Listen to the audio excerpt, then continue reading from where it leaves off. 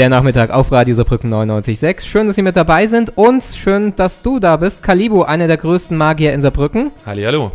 Du bist, kommst gerade von der Kreuzfahrt zurück, warst da beruflich unterwegs. Ist es denn so toll, wie man sich das vorstellt? Man arbeitet auf dem Kreuzfahrtschiff, arbeitet zwei, drei Stunden und dann. Ja, es ist schon toll. Das muss man sagen. Man darf es natürlich nicht zu laut sagen, weil sonst der Neidfaktor ist natürlich immer da, aber es ist auch Arbeit.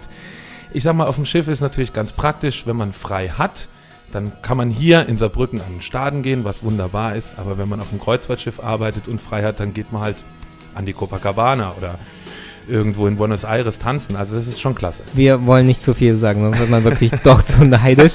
Du bist Magier, aber auch Gedankenleser. Mit deiner neuen Show kommst du jetzt ins Domizil Leidinger. Was kannst du da schon erzählen drüber? Also es ist eine äh, Gedankenlesershow oder eine Mentalshow mit dem Titel Phänomental und da geht es um unmögliche Zufälle. Das heißt, es geht darum, dass Dinge passieren, die eigentlich nicht passieren dürften. Und das Spannende daran ist, dass ich die so beeinflusse, dass sie genauso passieren, wie ich das gerne hätte. Wie viel ist denn dabei bei solchen Sachen Tricks dabei und wie viel hast du wirklich deine Sinne geschärft, an deinen Fähigkeiten gearbeitet?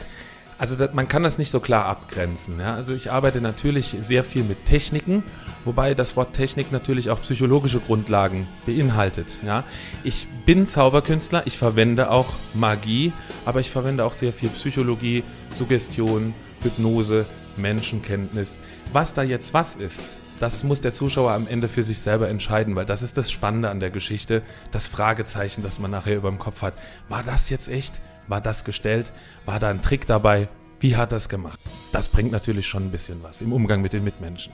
Gibt es was, was du hier im Studio zaubern könntest? Also ich war ja jetzt gerade in Brasilien und habe auch ein bisschen was mitgebracht. Und zwar es ist es natürlich immer ein bisschen schwierig hier, ähm, weil Zauberkunst natürlich etwas Visuelles ist. Aber wenn du das entsprechend dann umsetzt, dann denke ich, funktioniert das auch. Und zwar habe ich Edelsteine mitgebracht aus okay. Brasilien. Und die brasilianischen Makumba-Priester, das sind diese, ja, man würde bei uns sagen Voodoo-Priester, die sprechen diesen Steinen verschiedene Kräfte zu. Und zwar habe ich dir fünf mitgebracht, einen weißen, einen lilanen, einen schwarzen und einen roten und einen blauen. Ich habe dir hier einen Beutel vorbereitet. Weil wir, wir kennen uns noch nicht, wir haben mal miteinander telefoniert, aber ich denke so ungefähr, dass ich dich einschätzen kann mit dem, was du vielleicht gleich tun möchtest oder tun wirst, und zwar intuitiv. Alles, was ich von dir möchte, ist, dass du jetzt ganz intuitiv deine rechte Hand auf einen der Steine legst. Auf einen der Steine, völlig intuitiv, lass dich nicht von der Farbe beeinflussen, mhm. leg deine rechte Hand einfach auf einen der Steine drauf. Deine linke Hand ebenfalls auf einen der Steine. Auf einen anderen? Auf einen anderen, genau. Okay, nimm die Steine weg und schmeiß sie hier zurück in den Beutel. Drei Steine sind noch übrig geblieben. Das ist der schwarze, der lilane und der blaue. Diese drei Steine nimmst du in beide Hände und mischst sie. Alle, Alle drei. drei. Alle drei. Einen davon lässt du auf den Tisch fallen und schmeißt die anderen beiden wieder zurück in den Beutel. Ein einziger Stein ist intuitiv übrig geblieben. Du hattest jetzt vorher keine Ahnung, welcher Stein rauskommt. Ja? Nee, überhaupt nicht. Du hast ihn einfach fallen lassen. Das ist der blaue Stein und ja. der blaue Stein steht so ein bisschen für die Neugierde, aber auch für die Weite, für das Meer. Meine Neugierde, das kann man dir als Journalist natürlich auch nachsagen. Das ist auch, Hoffe ich doch. Ja, das ist auf jeden Fall eine Berufseigenschaft. Aber ich habe hier, hier schon was vorbereitet für dich, bevor ich überhaupt ins Studio gekommen bin. Und ich habe hier in diesem Beutel einen Stein hineingetan, von dem ich glaube, dass er zu dir am besten passt. Das ist Und genau das die gleiche Farbe. Ist der blaue Stein. Wahnsinn. Unglaublich, wie du es gemacht hast.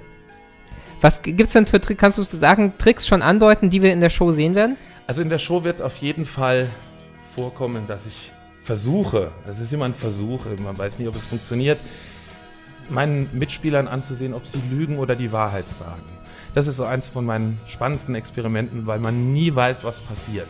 Dann viel Glück für die Shows am 5. und 6. Februar im Domizil, im Domizil Leidinger. Und du darfst dir natürlich noch einen Musikwunsch wünschen. Das finde ich total klasse, weil ich war ja im Oktober auf der MS Athena und die fuhr früher als MS Stockholm und das war das Schiff, das die Andrea Doria versenkt hat. Und deswegen wünsche ich mir von Udo Lindenberg die Andrea Doria. Das erfüllen wir dir natürlich. Danke für den Besuch und alles Gute.